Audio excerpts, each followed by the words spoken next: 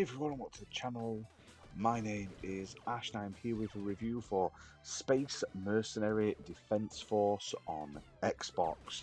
Now this released on the 1st of May 2024, developed by Tom Paradise and published by East Asia Soft Limited who were kind enough to send me a copy for this video review. Now, this is currently on sale on Xbox. It's on its like launch discount, so it's going to be 4.19 normally, but you can pick it up on sale for 3.35.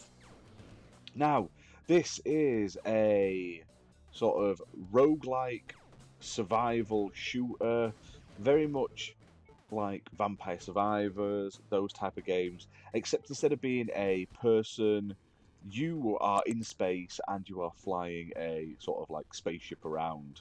So this is one of those auto shooter games where you will move the ship and you'll avoid enemies and stuff like that and you will have weapons attached. You can unlock more weapons and stuff like that as you progress getting XP from killing enemies.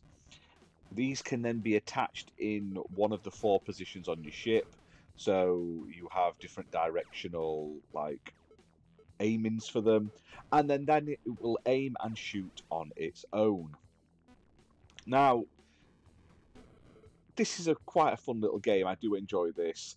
The gameplay is nice. Not only do you have to survive for the wave, there's also like mini like missions to do while you're playing. So there might be like a mini boss to defeat or some kind of sort of side quest you have to do. Some like optional event encounter will come out and you'll have to deal with that to um, earn rewards and level up more, which I thought was really cool.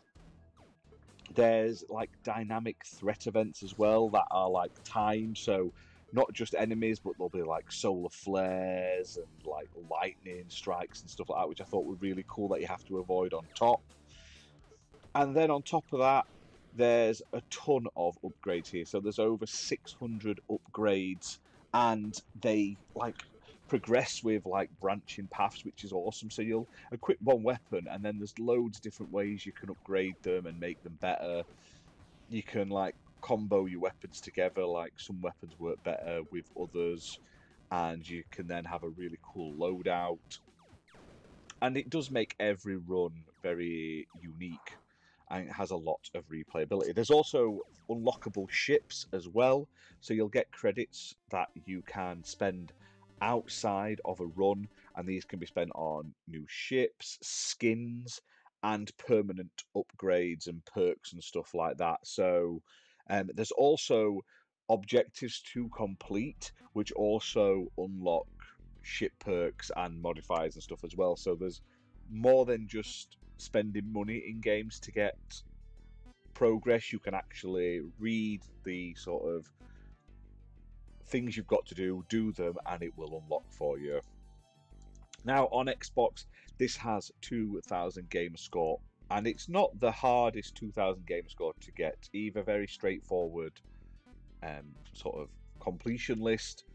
If you like your vampire survivors like roguelike games i definitely recommend this one. It's fun. It's enjoyable. It doesn't outstay its welcome in terms of length of its different runs either and all in all, like I say, it looks all right. The sound's not the best. That's probably the worst thing about it. The sound isn't great. It's just sort of generic. But the enemy graphics are cool. The variety of ships are nice. The backgrounds look very spacey with different like planets and stuff behind them.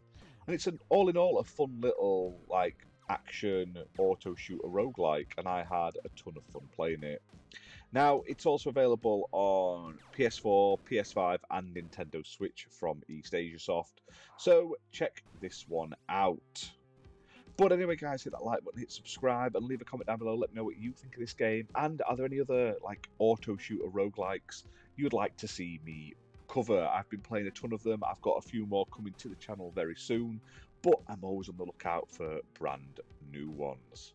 But until next time, guys, thanks for watching.